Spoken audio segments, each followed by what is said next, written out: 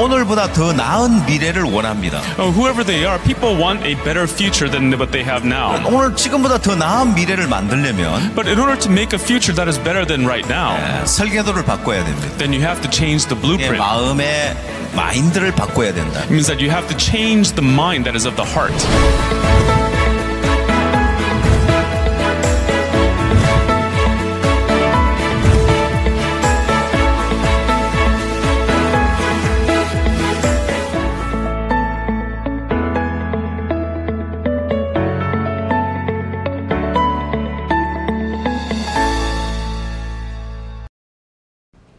여러분 안녕하십니까? सबको नमस्ते 예, 오늘도 어, 마인드 교육 시간이 돌아왔습니다. एक बार फिर से ये माइंड एजुकेशन का समय है 어, 우리가 지난 시간에는 마음의 상처와 사회 문제에 관한 부분을 강의했습니다.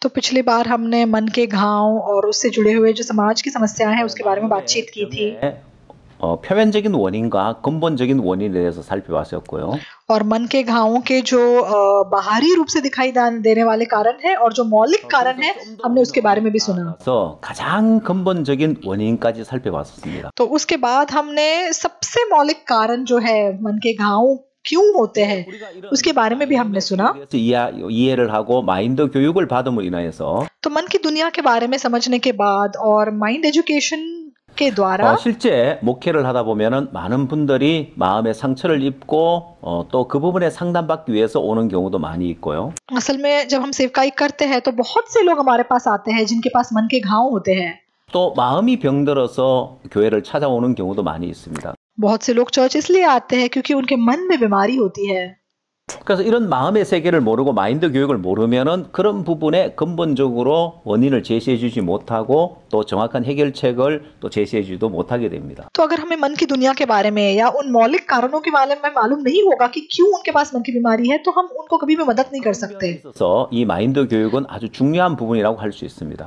तो इसलिए मैं कहना चाहता हूँ कि माइंड एजुकेशन जो है असल में बहुत जरूरी है 어, 또한 어, 여러분들 교인들 가운데 부부 사이에 문제가 있어서 상담을 받으러 오는 어, 경우도 많이 있을 겁니다. तो बहुत बार पति पत्नी के बीच में जो झगड़े होते हैं उसकी वजह से अ, वो लोग संगति करने के लिए आते हैं 아니면 주변 사람과의 어떤 그런 갈등 문제 때문에 찾아오는 경우도 있을 거고요. या कुछ लोग मतलब लोगों के साथ उनके जो आपसी रिश्ते होते हैं वो अच्छे नहीं होते इस वजह से भी परेशानी को लेकर के अ, संगति करने के लिए आते हैं 이렇게 어, 일어나는 갈등 문제를 이제 어떻게 해소할 것이냐에 대해서 오늘은 마인드 강연을 하고자 합니다.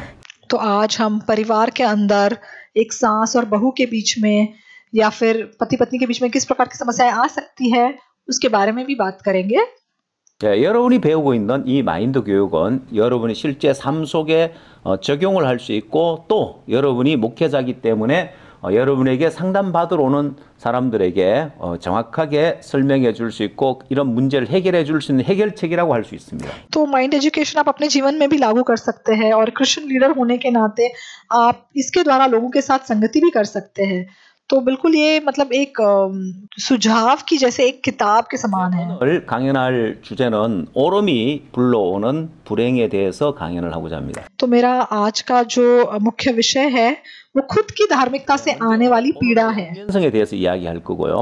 खुद की धार्मिकता के जो दो पहलू है उसके बारे में आज मैं बात करूंगा 예, 또한 어, 이 오름이 여러분 삶에 미치는 영향에 대해서 이야기를 할 겁니다. और खुद की धार्मिकता किसी के जीवन को किस प्रकार प्रभावित कर सकती है इसके बारे में आज हम बात करेंगे 어, 누구나 옳고 그름의 판단의 기준을 자기 자신에게 두고 있습니다.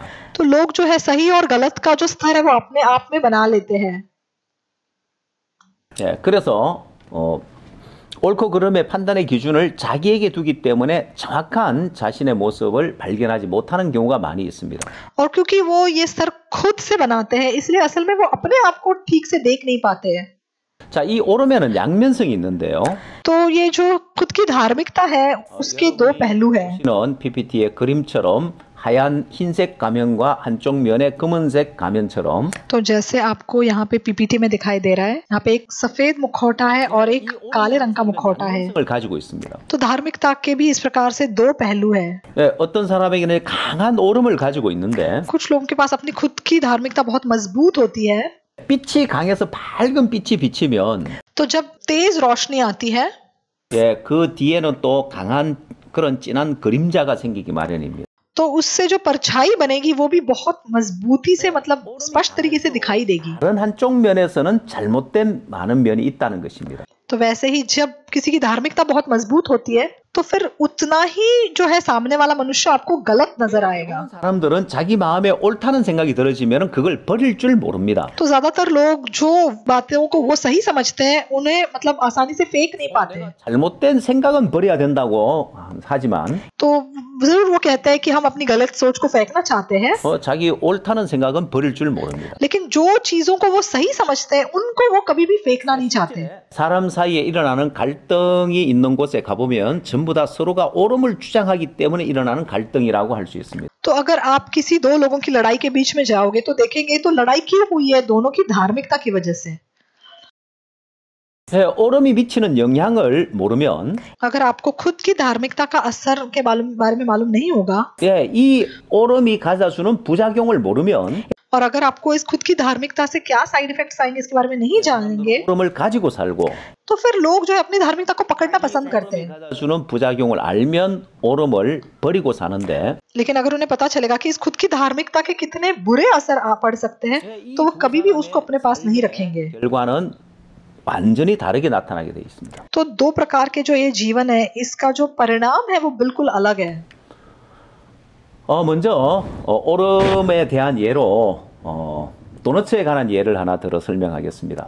तो मैं आपको खुद की धार्मिकता का एक उदाहरण दूंगा एक कहानी के जरिए 여행을 하기 위해서 공항에서 어, 탑승 대기 중이던 어떤 남자가 있었습니다. तो एक आदमी था जो विदेश जाने वाला था तो एयरपोर्ट में अ, वो वेटिंग एरिया में इंतजार कर रहा था 기다리는 동안 어, 도너츠를 사서 옆에 놓고 신문을 읽고 있었습니다. और जब वो इंतजार कर रहा था उसने जाके कुछ डोनट्स खरीदे अपने साथ उसे अ, मतलब जहां वो बैठा था उसके साइड में ही रख लिए और फिर अपना अ, अखबार पढ़ने लगा तो थोड़ी देर में उसे जो जिस पन्नी में डोनट थे उस पन्नी की आवाज आने लगी 자기 맞은편에 있는 사람이 자기 도너츠 봉투에서 도너츠를 꺼내 먹는 거예요. तो उसने क्या देखा उसके सामने एक आदमी बैठा हुआ था और सामने वाला आदमी उसके डोनट की पन्नी में से डोनट निकाल कर खा रहा था 그 사람을 쳐다봤습니다.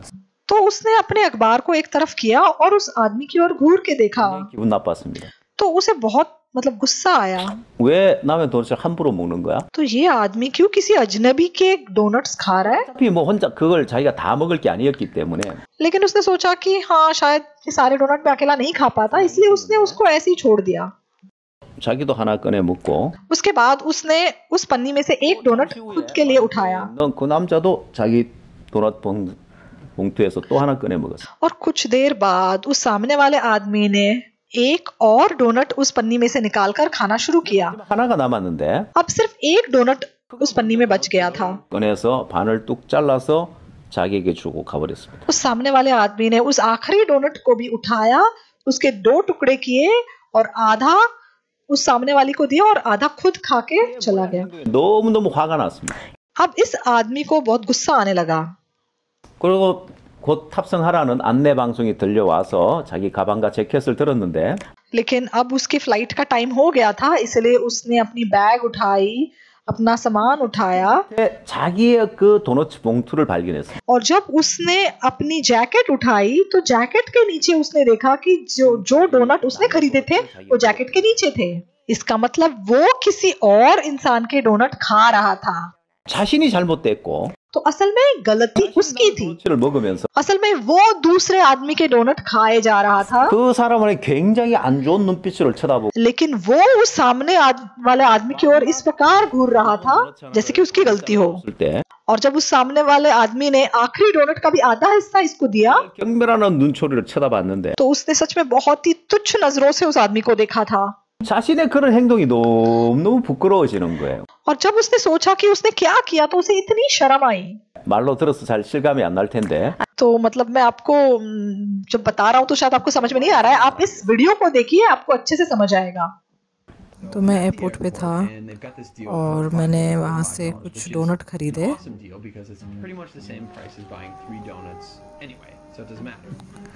मैं किसी जगह पे बैठ गया अपना अखबार पढ़ने लगा। एक आदमी आके सामने बैठ गया। मेरी तरफ़ देख के मुस्कुराया।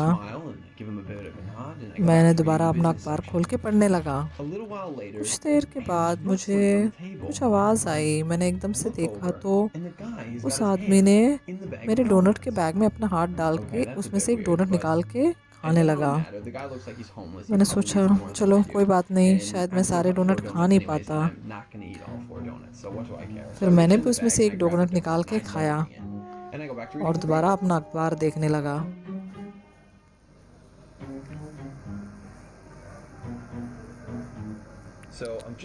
और जैसे मैं अखबार पढ़ रहा था, एक बार फिर मैंने क्या देखा कि उस आदमी ने एक और डोनट उसमें से निकाल के खाया।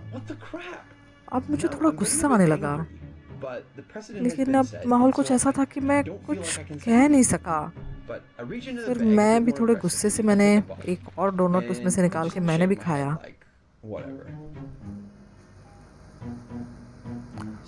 और अब कुछ समय बीत गया और uh, अगली फ़्लाइट की बोर्डिंग का अनाउंसमेंट हो गया।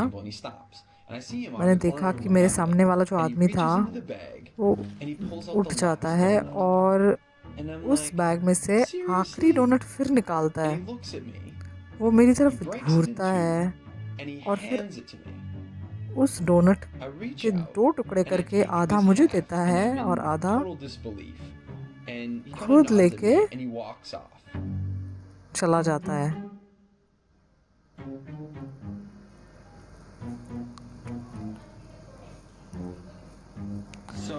तो मैं बैठे बैठे सोचने लगा कि ये मतलब इसका क्या मतलब हुआ?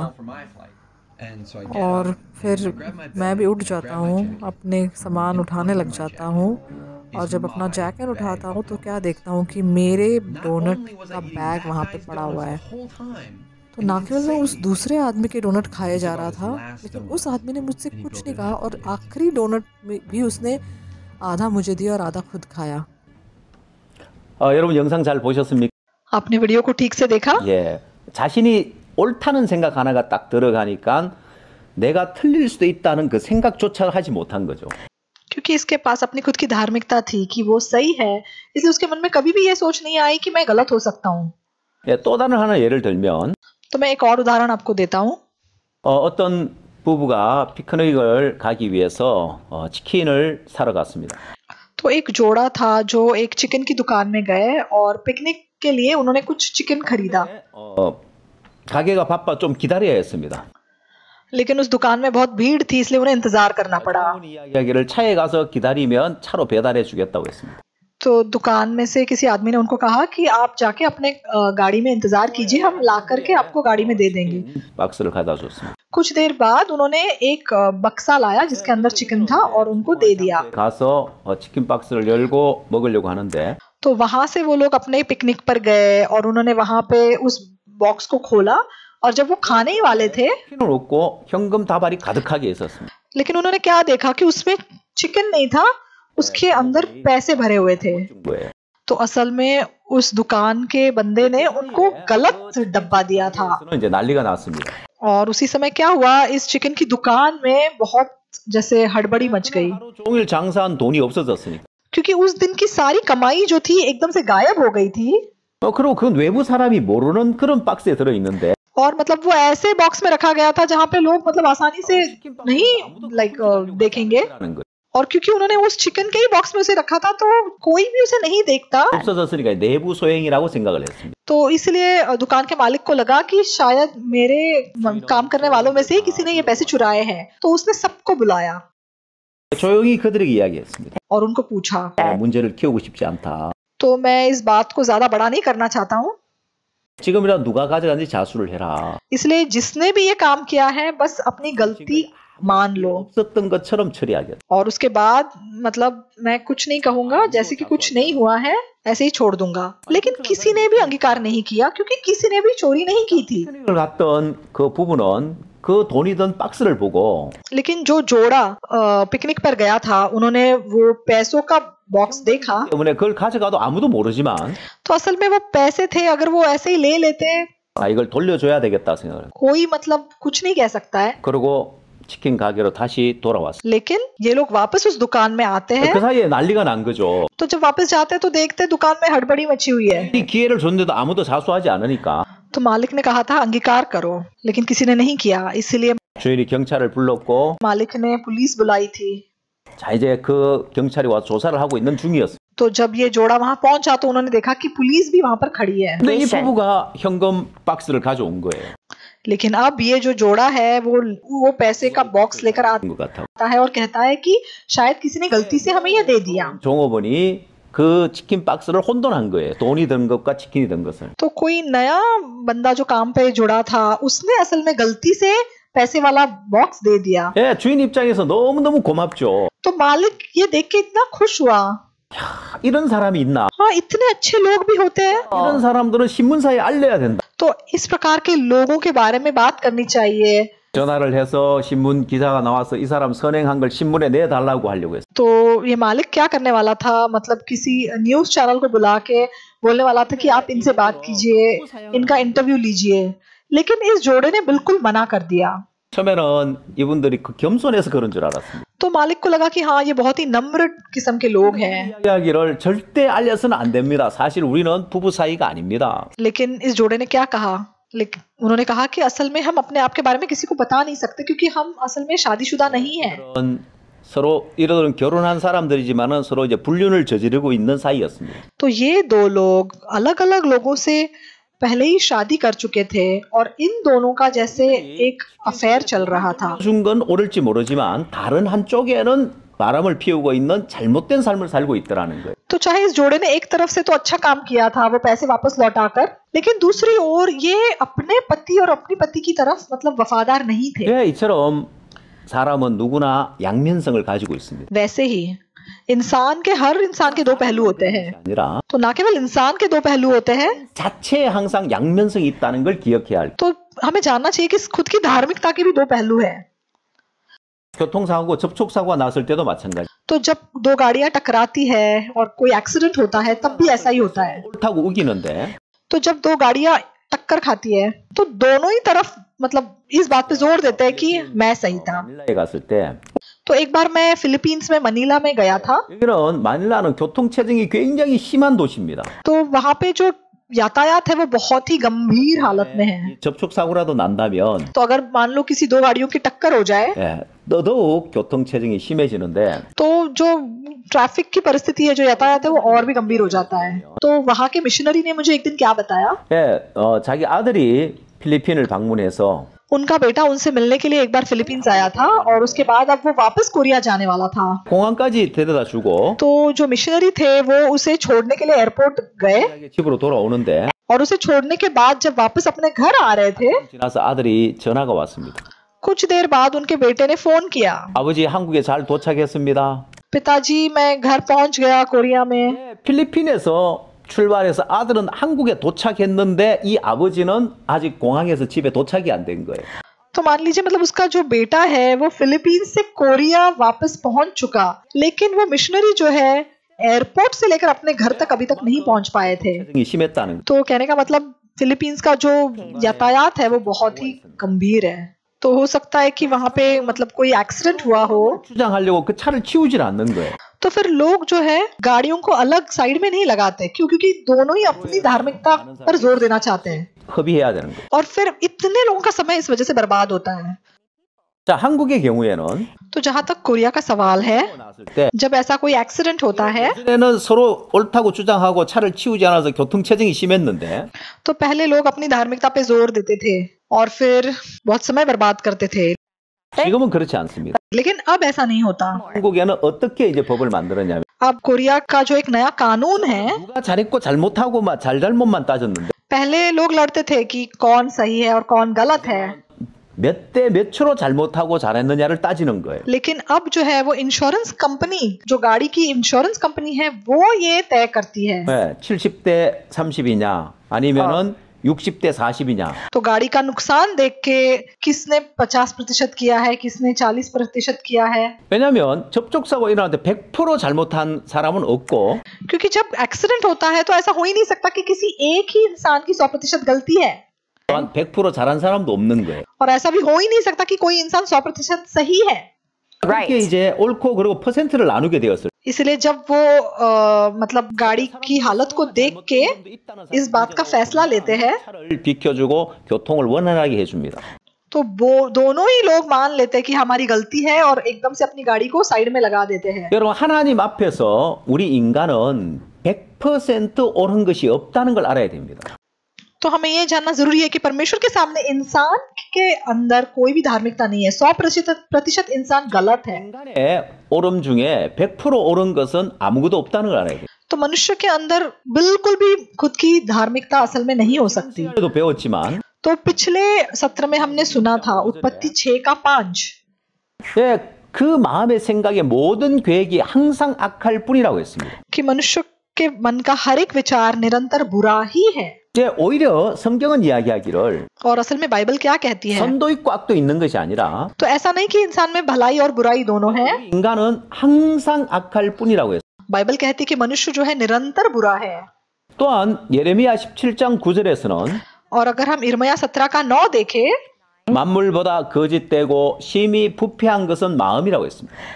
तो मन तो सभी वस्तुओं से अधिक धोखा देने वाला है उसमें असाध्य रोग लगा है 보다 거짓되고 부패한 것이 인간의 마음인데 मन सभी वस्तुओं से अधिक धोखा देने वाला है उसमें असाध्य रोग लगा हुआ है 그런 것이 뭐가 있겠냐? तो इस मन के अंदर आप कौन सी ऐसी सही बात ढूंढ सकोगे 만약에 쓰레기장에서 음식 쓰레기를 뒤지는 사람이 있다고 합시다. तो मान लो किसी कूड़ेदान में कोई इंसान खाना ढूंढ रहा है 예, 거기서 뭔가를 까만 비닐 봉다리에 열심히 주워 담았다고 합시다. मान लो उसने कुछ ढूंढ लिया और एक काले रंग के पन्नी में डाल दिया 예, 여러분 거기서 먹을 만한 것이 뭐가 있겠느냐? तो असल में उस पन्नी में से ऐसी कौन सी चीज होगी जो आप सच में खा सकोगे 그 쓰레기 음식물 쓰레기통에서 뭔가를 주워서 먹을 만한 걸 주워 담아서 그걸 여러분이 주면 여러분 그걸 먹을 수 있겠냐는 तो वो कूड़ेदान से निकाली हुई चीज है तो कूड़ेदान से निकली हुई चीजों में से सच में आप कुछ कैसे खा सकोगे 하나님은 우리 인간의 의를 다 쓰레기통에 버린 것과 같습니다. तो परमेश्वर ने भी इंसान की धार्मिकता को इसी प्रकार बिल्कुल कूड़े में फेंका है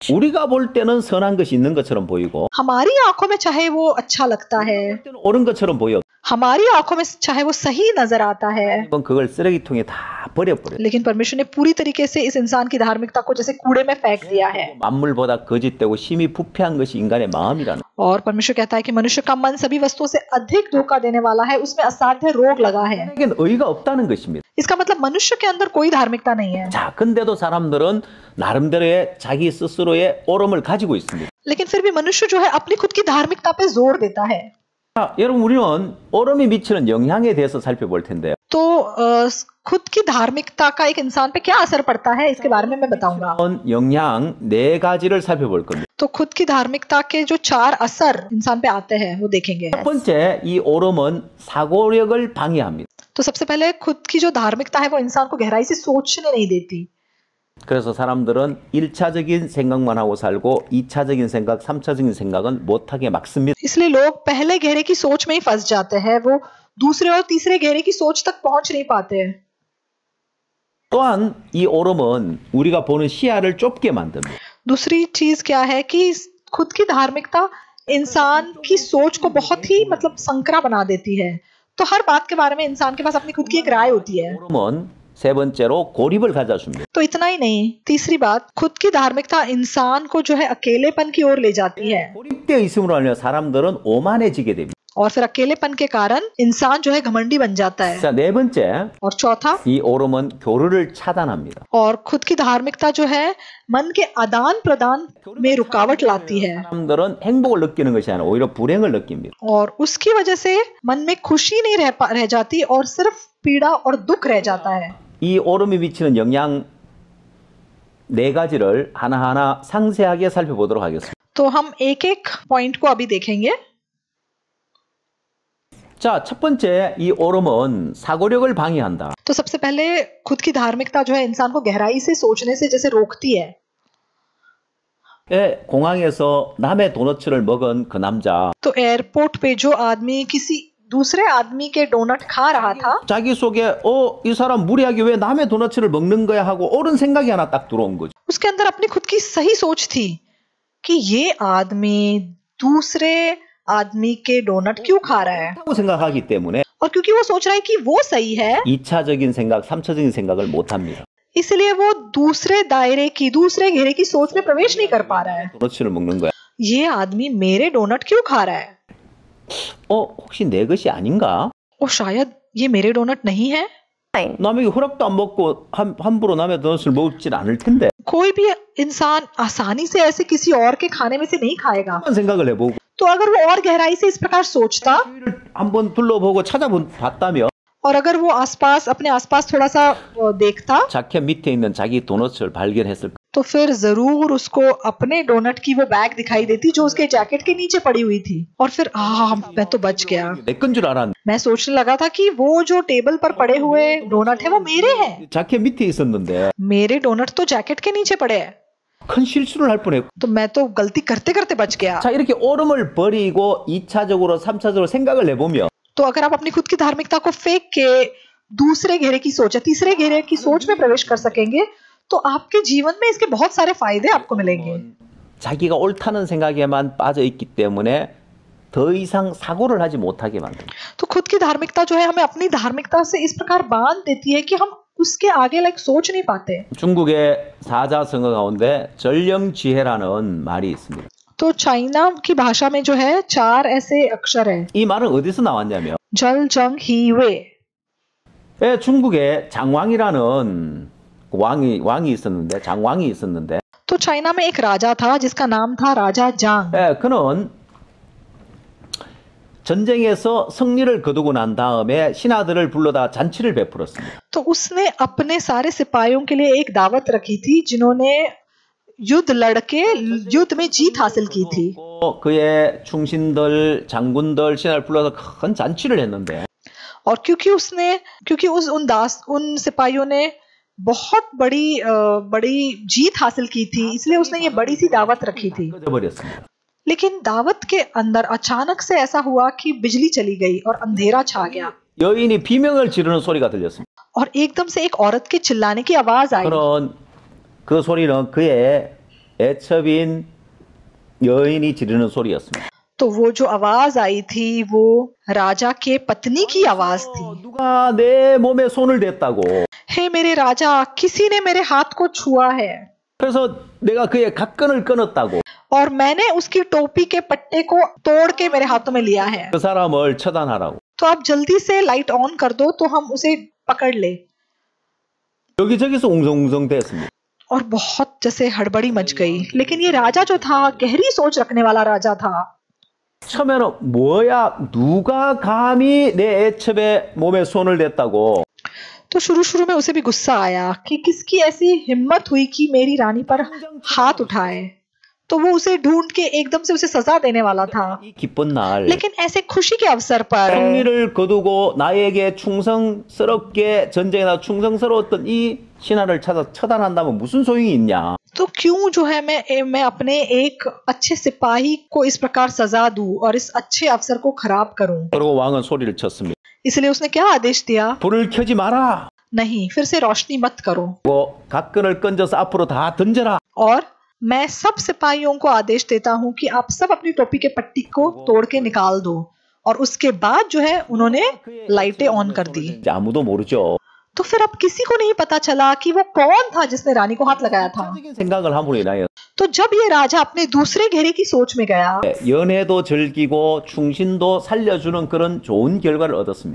तो उसका परिणाम बहुत अच्छा हुआ कि दावत अच्छी तरह चली और फिर उस सिपाही की जान बच गई 몇 년 후에 전쟁이 있었는데 कुछ साल बाद दोबारा से युद्ध हुआ 예, 왕이 위기에 빠져 있을 때 और एक बार ऐसा समय आया जब राजा की जान खतरे में थी 숨을 걸고 용감하게 왕을 위해 싸워줘서 왕을 구해줬습니다.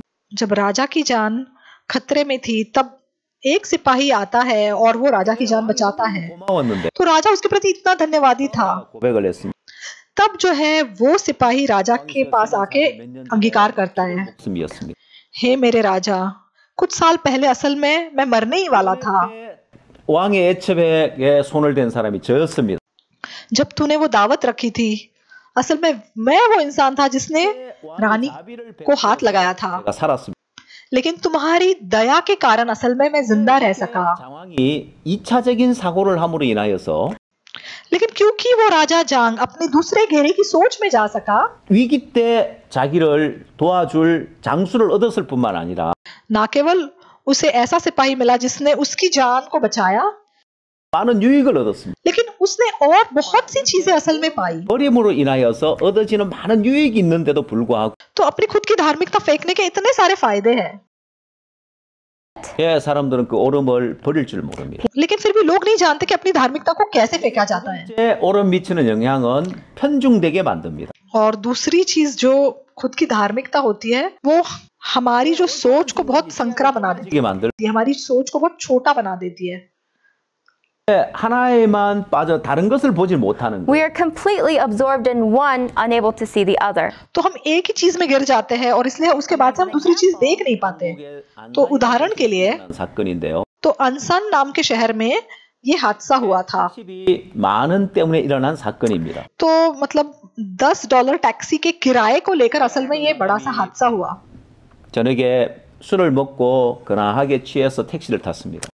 तो एक आदमी था जिसने रात को शराब पी थी और फिर वो अ, घर जाने के लिए टैक्सी में बैठ गया 요즘 어디까지 갑시다 하고 택시비 만 원을 내, 내고 먼저 택시비 만 원을 내고 그 뒷좌석에서 잠이 들었습니다.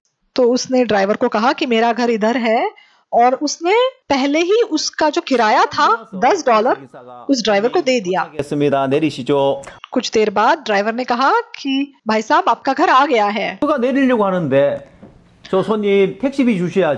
और जब ये मनुष्य उतर के घर जाने वाला था ड्राइवर कहने लगा भाई साहब किराया तो दीजिए।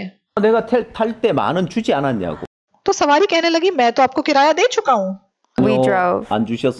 तो ड्राइवर ने कहा नहीं आपने तो पैसे नहीं दिए। लेकिन ये आदमी जो था मतलब ऐसे ही करता था। क्योंकि शराब पीता था इसलिए पहले से ही वो मतलब किराया देता था। 만 원이면 충분하고 남기 때문에 वो जानता है कि उसके घर तक का जो किराया है वो दस डॉलर से ज्यादा नहीं होता 예, 그 사람들을 받지 않고 그냥 만 원을 주고 늘 그렇게 왔다 갔다 और हमेशा वो पूरे दस डॉलर दे के हमेशा ऐसे ही वो घर आना जाना करता था 그는 평소 습관대로 택시비 만 원을 줬는다가 और क्योंकि वो इसी प्रकार करते आया था उसने इस बार भी इस ड्राइवर को दस डॉलर दिए थे 속인 거죠. तो असल में ये ड्राइवर जो है उसे बेवकूफ बनाने की कोशिश कर रहा था 취해 있기 때문에 기억을 잘 못할 거라고 생각합니다.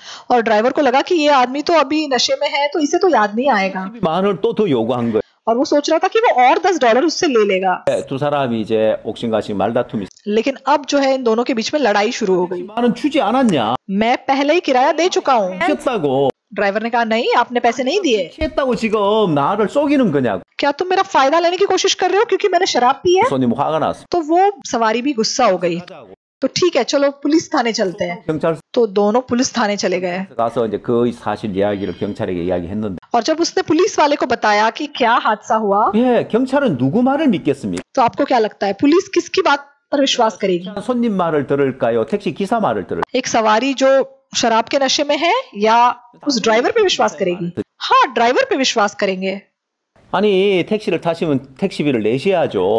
तो पुलिस वाले ने कहा कि अगर आपने टैक्सी ली है तो जरूर उसका किराया तो देना पड़ेगा 나는 내가 냈단 말이야. तो ये सवारी कहने लगी हाँ तो मैंने पैसे तो दिए थे 기사가 안 받았다고 하지 않냐? लेकिन ड्राइवर कह रहा है नहीं भाई साहब आपने पैसे नहीं दिए 빨리 택시 만원 내고 가. आप जल्दी से मेरे दस डॉलर दीजिए और आगे जाइए 내가 너무 너무 화가 났습니다. इस आदमी को अब इतना गुस्सा चढ़ गया।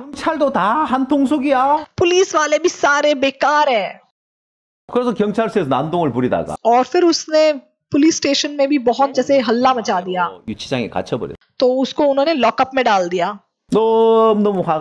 उसका गुस्सा और भी बढ़ गया 아침이 돼서 경찰이 풀어줬는데 सुबह उसको लॉकअप से बाहर कर दिया गया 그래서 주유소에 가서 휘발유를 한 통 사왔어. लेकिन ये आदमी इतना गुस्से से भरा हुआ था उसने जाके केरोसिन का डब्बा खरीद लिया 어, 서 겨- 다시 찾아와서 사과해라. और एक डब्बा केरोसिन लेके वो उस पुलिस थाने के सामने आ गया और कहने लगा अब भी मुझसे माफी मांगो 하겠다고. नहीं तो ये सारा केरोसिन मैं अपने ऊपर डाल दूंगा और अपने आप को जला दूंगा 경찰이 어젯밤에 소동 택시비 만 원 때문에 소동 부린 그 사람인 걸 보고 तो पुलिस वाले ने देखा कि ये वही आदमी है जिसने रात को भी तमाशा किया था 아이 저 사람 the- 또 술을 아직 덜 깼나 또 왔네. और फिर सोचा ये आदमी अभी भी शायद नशे में है 이상한 사람이라고 생각을 했어. और उनको लगा कि ये बहुत ही अजीब आदमी है 내 주장에 아무도 대꾸하지 않았어. और असल में किसी ने उसकी ओर ध्यान नहीं दिया 그 택시를 탔던 손님 너무 화가 나서 तो इस आदमी को इतना गुस्सा चढ़ गया 몸에다가 휘발유를 뒤집어 쓰고 उसने जब वो सारा केरोसिन अपने शरीर पर डाल दिया और फिर अपने आप को आग लगा दी 몸에 불이 붙었고 और कुछ ही पलों में उसके पूरे शरीर पर जैसे आग लग गई 달려와서 그 불을 끄고 उस समय पुलिस गई और उसको रोकने की कोशिश की 병원으로 옮겼는데 उसको एकदम से अस्पताल लेके गए 그 몸에 전신에 화상을 입었어요. उसका पूरा शरीर जैसे जल गया था 여러분 사람 몸에 전신에 화상을 입으면 तो पूरा शरीर क्योंकि जल गया था 피부가 호흡을 해야 되는데 호흡을 못 한답니다. तो असल में जो त्वचा होती है उसको भी श्वास लेना पड़ता है लेकिन 그래서 죽는답니다. वो नहीं हो पा रहा था 병원에 입원해 있고 तो अब ये बंदा अस्पताल में हो गया 됐습니다. और ये एक बहुत बड़ी जैसे खबर हो गई 찾아오고 तो रिपोर्टर्स आ गए 결국 이 택시 손님이 만 원 냈다는 것이 옳다는 것을 인- 인정해 주게 된 거죠. और लोग उसको मानने लगे कि हाँ आप सच कह रहे थे कि आपने दस डॉलर आपका किराया पहले दे दिया था 만 원 안 내고 분신 자살을 시도할 사람은 아무도 없으니까요. क्योंकि अगर उसने ऐसा नहीं किया होता तो फिर कोई ऐसा मनुष्य नहीं होगा जो अपने आप को इस बात को मतलब सही साबित करने के लिए अपने आप को जला दे 책임자는 이제 옷을 벗게 되고 तो उसके बाद जो पुलिस वाले थे उनको इस्तीफा देना पड़ा 담당 경찰 경찰도 강등을 당하고 문책을 받게 되고 और मतलब कुछ और भी पुलिस वाले थे जिनको इस्तीफा देना पड़ेगा पड़ा इस हादसे की वजह से 근데 그 아내가 너무너무 고통스러웠어. लेकिन अब ऐसा हुआ कि इसकी पत्नी इतनी मुश्किल में गिर गई 들어와야 할 남편이 이렇게 이런 일을 당해서 이제 죽어가고 있으니까. उसका पति जो शाम को घर आने वाला था अगले दिन वो देखती है कि वो बिल्कुल मरने की हालत में पहुंच गया है 근데 마침 그 옆집에 굿뉴스 미션 처치를 다니는 멤버가 있었습니다. तो इस आदमी के पड़ोसी एक ऐसा परिवार था जो हमारे गुड न्यूज चर्च आते थे 그래서 그 부인에게 복음을 전해준 거예요. तो उस पड़ोसी ने इस आदमी के पत्नी को सुसमाचार प्रचार किया 있었기 때문에 क्योंकि वो इतनी मुश्किल में थी उसके मन में इतना खालीपन आ गया था तो उसने सुसमाचार को सुना और उसने उद्धार पा लिया 남편에게도 이 복음 전해줬으면 좋겠다. और उसे लगा कि अगर मेरा पति भी ये सुसमाचार सुने तो कितना अच्छा होगा 병원에서 살지 못한다고 하는데 तो अस्पताल वालों ने पहले कह दिया कि अब ये जिंदा नहीं रह सकते 천국 갔으면 좋겠다. मैं आशा करती हूँ कि मेरे पति भी इस सुसमाचार को सुने और उद्धार पा सके 부탁을 했습니다. 우리 남편 병원에 있는데 와서 복음을 좀 전해. और फिर उसने ऐसे मतलब निवेदन किया कि क्या आप में से कोई आके मेरे पति को सुसमाचार प्रचार कर सकते हैं 하는 तो अब चर्च में से कुछ लोग जाने वाले थे अस्पताल में उनको मिलने के लिए और प्रचार करने के लिए 죄인한 사실을 깨달아야죠. तो सबसे पहले तो इंसान को ये एहसास होना चाहिए कि मैं एक पापी हूँ 당신도 죄인이라고 तो पास्टर ने कहा कि तुम एक पापी हो 하나님 앞에서는 항상 악할 뿐인 인간이라고. और परमेश्वर के सामने सब मनुष्य निरंतर बुरे ही है 근데 이 사람 바로 소리를 질렀습니다. लेकिन ये आदमी गुस्से से चिल्ला 나는 उठा 잘못한 거 없어. मैंने कोई गलत काम नहीं किया है मेरे अंदर कोई पाप नहीं है 놈이 나쁜 놈이지.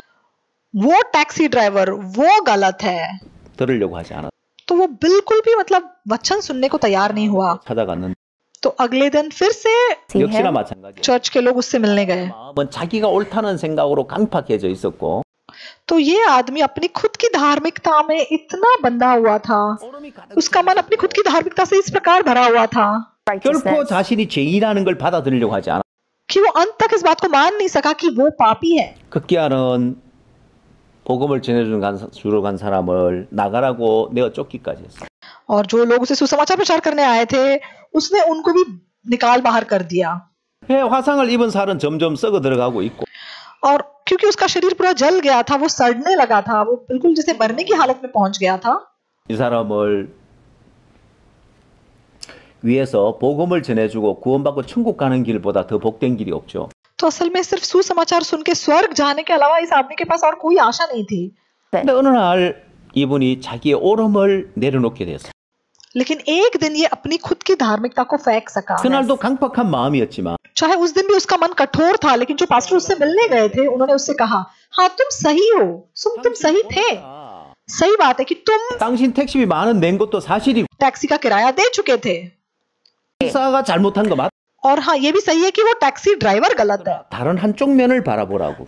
लेकिन तुम दूसरी ओर देखो 택시비 만 원 낸 건 옳을지 모르. तुमने दस डॉलर टैक्सी का किराया दिया यहाँ पे तो तुम सही हो लेकिन दूसरी तरफ 당신이 이렇게 죽으면 अगर तुम मर जाओगे 당신은 당신 아내에게 큰 죄를 짓고 당신 아들에게 큰 죄를 짓는 것. तुम अपनी पत्नी और अपने बच्चों के प्रति एक बहुत बड़ा पाप कर रहे हो 당신 아내 남편 없이 살아가야 되고 당신 아들 아빠 없이 살아가야 되는.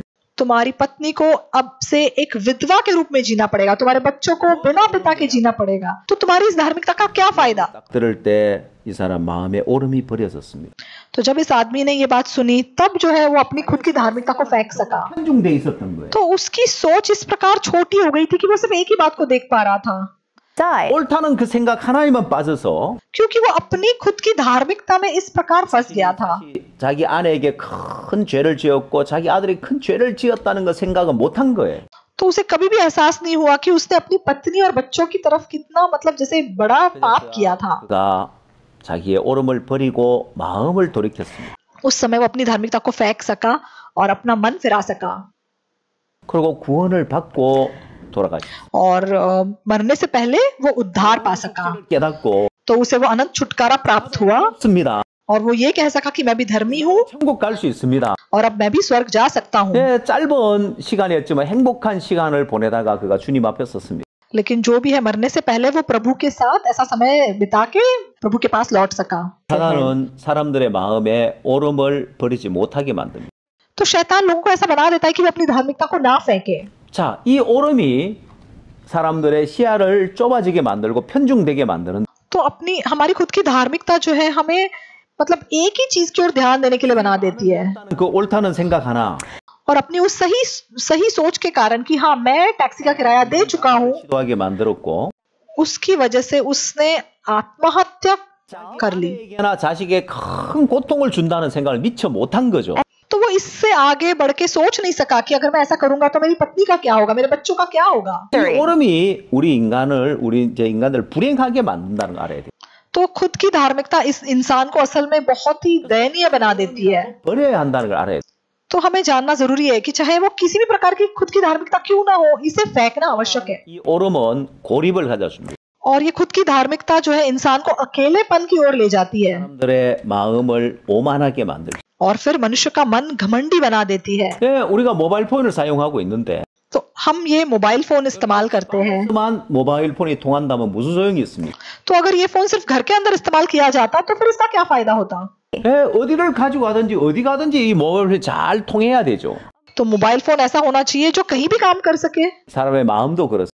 तो मनुष्य का मन भी बिल्कुल ऐसा है 네, 사람의 마음의 영역도 넓혀가야 하는데 교류를 통해서 तो आदान प्रदान से हमें अपने मन के दायरे को भी चौड़ा करना चाहिए 네, 오름이 많은 사람은 लेकिन जिस इंसान के पास अपनी खुद की धार्मिकता होती है 사람들과 교류가 잘 안 되기 वो आदान प्रदान नहीं कर पाता अपना मन दूसरों के साथ बांट नहीं पाता 때문에 क्यों क्योंकि उसका मन घमंडी हो जाता है 들으려고도 하지 않고 वो दूसरों की बात नहीं सुनता 네, 다른 사람의 도움을 필요도 하지 않습니다. और दूसरों से वो कोई मदद भी नहीं लेता 이솝 우화 가운데 운물한 개구리 이야기가 있는데 एसोप की कथाओं में अ, एक कहानी है जिसका नाम है कुएं में मेंढक 안에 살고 있는 개구리들은 तो एक मेंढक है जो कुएं में रहता था 엄마 개구리가 제일 큰 줄 알았습니다. तो उस कुएं में रहने वाले मेंढकों के लिए मेंढकों के लिए सबसे बड़ा मेंढक उनकी माँ था 고립돼 있기 때문에 자기가 제일 큰 줄 아는 वैसे ही जो लोग अकेलेपन में रहते हैं उनको लगता है कि मैं सबसे महान हूँ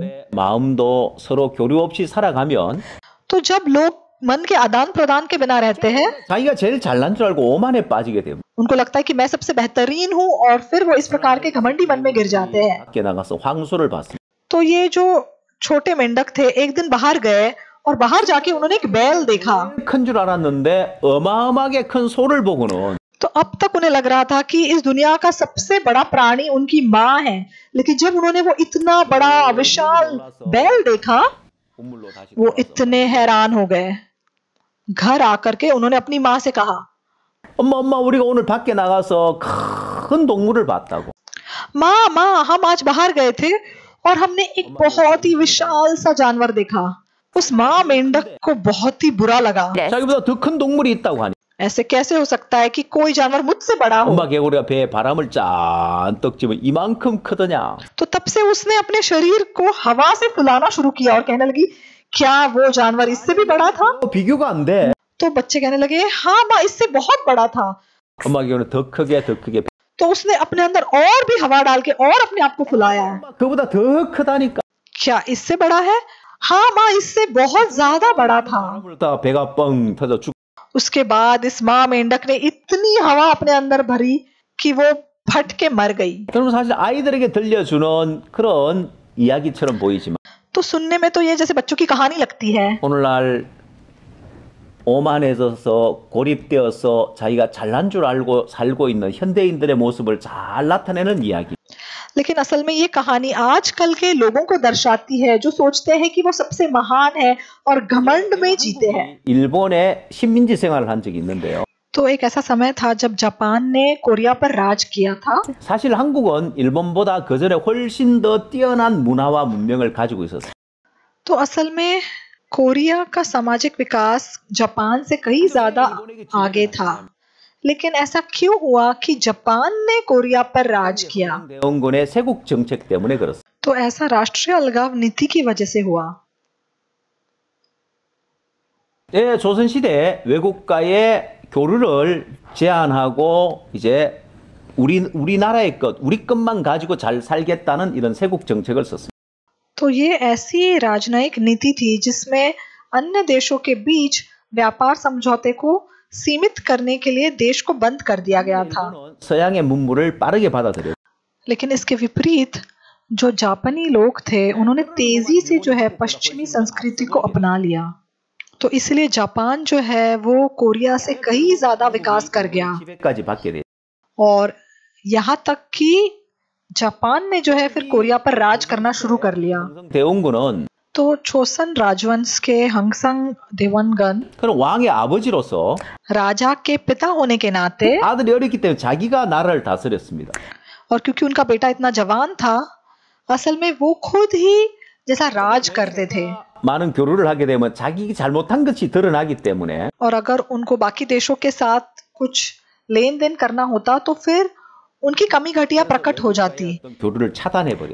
इसलिए उसने दूसरे देशों के साथ बिल्कुल व्यापार करना बंद कर दिया तो उसका परिणाम क्या हुआ 일본의 식민지 생활을 하는 그런 비참한 그런 상황을 맞이해야 했어. कोरिया के इतिहास का सबसे दयनीय समय वो ठहरा जब जापान ने कोरिया पर राज करना शुरू किया 예, 이제 네 번째 이 오름이 교류를 차단하게 되어지는데요. तो चौथा खुद की धार्मिकता का एक जो प्रभाव होता है वो ये है कि मन का जो जुड़ना है उसकी वजह से बिल्कुल टूट जाता है 교류하고 살아야 된다고 했습니다. तो मैंने आपको पहले बताया कि लोगों को अपने आसपास के लोगों के साथ मन बांटना जरूरी है 물이 흘러야 물이 깨끗해지는 것처럼 जब पानी बहता है तब वो साफ रहता है 물이 고여 있는 물은 썩습니다. पानी जब किसी एक ही जगह पर टिक जाता है तो वो सड़ जाता है 교류하지 않으면 वैसे ही जब लोग मन आदान प्रदान नहीं 행복을 करते 느끼지 못하고 तब वो खुशी महसूस नहीं कर पाते 어떤 문제에서도 벗어나질 못합니다. और वो मन किसी समस्या को छलांग नहीं कर सकता 어떤 이제 문제 속에 고민하고 근심하고 걱정하고 있을 때 तो कभी कभी आप किसी समस्या को लेकर परेशान होते हैं चिंतित होते हैं 다른 사람들과 교류해 보면 तो आप जब ऐसी समस्याओं को दूसरे के साथ बांटते हैं 또 다른 사람의 마음을 받아들이 और जब आप दूसरों का मन ग्रहण करते हैं 쉽게 그 문제에서 벗어날 수 있는데 तब आप आसानी से ऐसी समस्याओं से बाहर आ सकते हैं 현대인들이 고립된 삶을 살고 있습니다. लेकिन आजकल के लोग अकेलेपन में जीते हैं 또한 청소년들도 तो नौजवान लोग भी बिल्कुल ऐसा जीते हैं 삶을 살고 있 अकेलेपन का जीवन वो जी रहे हैं 많은 문제를 안고 해결하지 못하고 살아가고 있습니다. और इसलिए अपने मन की समस्याओं को वो सुलझा नहीं पा रहे 자, 이렇게 우리는 오름이 미치는 네 가지 영향을 살펴봤습니다. तो मैंने आपको बताया कि खुद की धार्मिकता के क्या असर जो है इंसान पे आ 이 सकते हैं 오름은 사고력을 방해하고 सबसे पहले हमें गहराई से सोचने से वो रोकता है 그래서 일차적인 생각에만 머물러 있게 만들고 हमारी पहले घेरे की सोच में हमें फंसा के रख देता है 이차적인 생각, 삼차적인 생각을 못하게 막는다고 했어요. और फिर हमें दूसरे और तीसरे घेरे की सोच में जाने नहीं देती 또한 이 오름은 시야를 좁아지게 만들어서 अपनी सोच को बहुत छोटा बना देती है 자기 중심적으로 편중된 생각을 가지고 살게 됩니다. और फिर ऐसा इंसान एक स्वयं केंद्रित जीवन जीना शुरू करता है 세 번째, 고립을 가져주고 और उसके बाद इंसान अकेलेपन में गिर जाता है 예, 자기가 잘난 줄 알고 오만한 삶을 살게 된다고. और फिर वो इंसान घमंडी होकर अपने आप को सबसे बेहतरीन समझ के जीता है और उसका आदान प्रदान बिल्कुल बंद हो जाता है 나누지 못해서 불행한 삶을 살고 문제에서 벗어나지 못하게 된다고 했습니다. दूसरों के साथ जब मन नहीं बांट पाते तो ऐसा इंसान बहुत ही दयनीय जीवन जीना शुरू करता है 오름을 가진 사람들의 마음이 마음에 일어나는 그 이제 어, 안 좋은 영향들입니다. तो खुद की धार्मिकता जो इंसान रखता है उसके साथ ये सब होता है 여러분 이 오름이 가져 주는 것 가운데 좋은 것은 하나도 없습니다. तो असल में खुद की धार्मिकता किसी को कोई फायदा नहीं देती 여러분 처음 강연할 때 흰색 가면과 검은색 가면을 본 걸 기억하실 겁니다. तो मैंने आपको शुरुआत में बताया था एक सफेद मास्क दिखाया था मैंने आपको एक काला मास्क दिखाया था तो वैसे आत्मिक अ, जो खुद की धार्मिकता है इसके भी दो पहले हैं जितना ज्या- पहलू है जितना ज्यादा मुझे लगता है कि मेरी सोच सही है 집이 만 원 냈다는 그 사람처럼 जैसे कि वो मनुष्य जो कह रहा था कि मैंने टैक्सी का किराया दे दिया था तो चाहे एक तरफ़ वो सही था लेकिन दूसरी ओर उसने बहुत ही गलत किया। मैं चाहता हूँ कि आप भी अपनी धार्मिकता को छोड़ सके और आप एक खुशी भरा जीवन जी सके। तो अगले भाग में मैं आपको और विस्तार से बताऊँगा कि किस प्रकार आप अपने आप की धार्मिकता को छोड़ सकते हैं फेंक सकते हैं। तो फिर मिलेंगे।